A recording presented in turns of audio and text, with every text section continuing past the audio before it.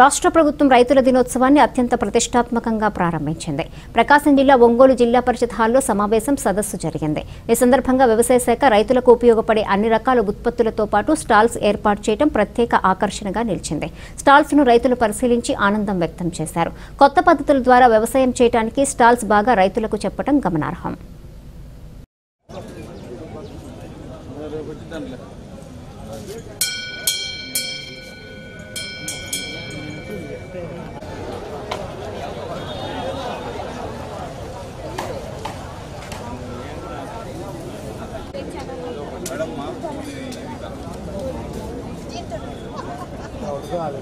అక్కడికి పోయి మా గడపడమే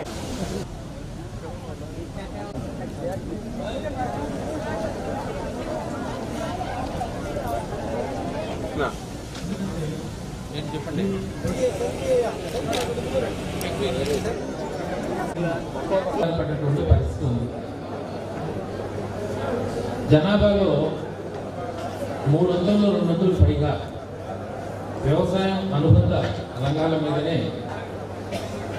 ఆధారపడి జీవిస్తున్నాము.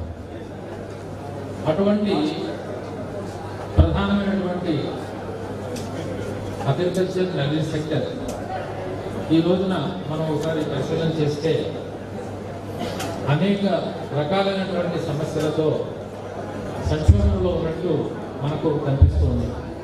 పన్నెండు వేల పన్నెండు వేల ఐదు వందల రూపాయలు ప్రతి రైతుకి అందజే చేసే విధంగా రేపు అక్టోబర్లో రైలు భరోసా కార్యక్రమం చేపట్టడం జరుగుతుంది. తెలుసుకుంటా ఉన్నాం.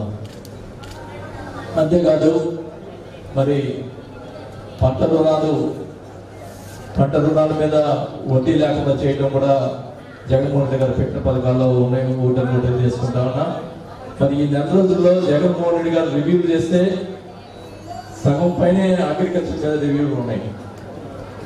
ఎక్క ఎంతకాడికి మన ప్రభుత్వం రైతు ప్రభుత్వం అనేది ప్రజలకు రావాలి అని చెప్పి జగన్మోహన్ రెడ్డి గారి పదే పదే చెప్తా ఉన్నారు.